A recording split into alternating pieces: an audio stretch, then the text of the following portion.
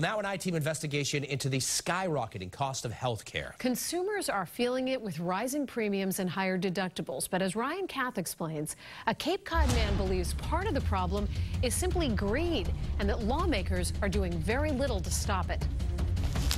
This brace was supposed to be the fix when Bob Messina of Yarmouthport twisted his knee. But the real pain came when he opened the bill. I was in shock. Bob hadn't reached his insurance deductible yet, so he was ready to pay out of pocket but I didn't expect it to be $672.22. There it is, the DeRoyal Warrior knee brace. But his shock turned to anger when Bob did a quick Google search. He discovered the exact same brace available on several sites for as little as 125 bucks. I would have worn the brace that I bought at CVS and I would have been happy with it.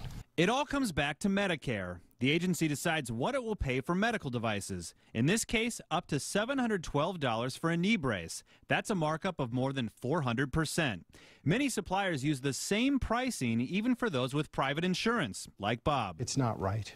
Apparently, the head of the Medicare division in charge of setting those pricing standards agreed. Back in 2012, Lawrence Wilson testified before Congress saying prices for medical equipment were grossly inflated, and this system is plagued with fraudulent practices. When we contacted Medicare, a spokesperson told us since then prices have been reduced on other equipment like wheelchairs, but not for things like Bob's knee brace. This is a significant problem. David Seltz is the director of the Health Policy Commission, a state agency created to figure out how to reduce the cost of health care.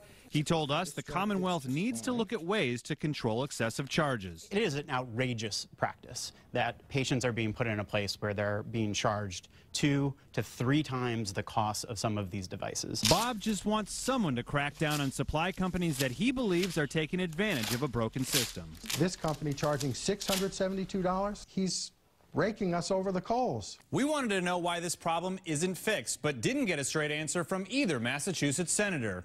So as a patient, the best way to avoid the surprise bill is to check with your insurance company before accepting any device from a medical facility, because you might be able to buy a cheaper one yourself. For the I-Team, Ryan Kath, WBZ News.